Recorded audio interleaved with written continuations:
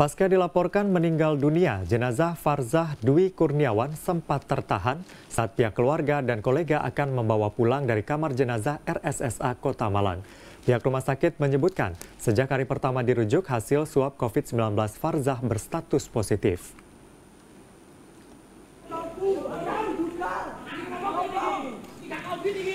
Dua video amatir yang diambil teman korban Farzah meratar kamar jenazah RSSA Kota Malang minggu malam kemarin jelas menunjukkan kekecewaan pihak keluarga dan Aremania.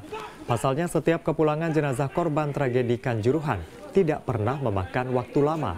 Namun saat mereka sudah bersiap membawa pulang jenazah mahasiswa jurusan teknik sipil Universitas Muhammadiyah Malang ini, pihak rumah sakit menahannya dengan alasan masih dalam pemeriksaan akhir.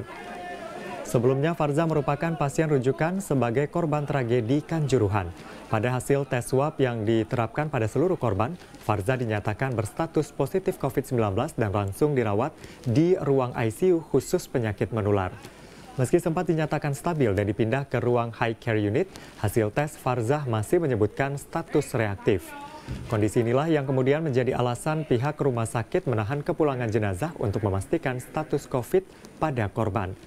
Dari seluruh pasien korban tragedi Kanjuruhan, Farza merupakan satu-satunya pasien yang berstatus positif COVID-19. COVID.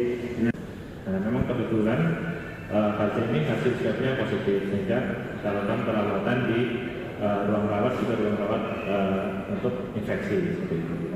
Selama perawatan dan memang uh, dengan kondisi cedera atau trauma di beberapa tempat trauma multiple di kepala, di bahu, dan juga di beberapa uh, tempat lainnya. Namun memang yang memberatkan itu dari uh, trauma kepala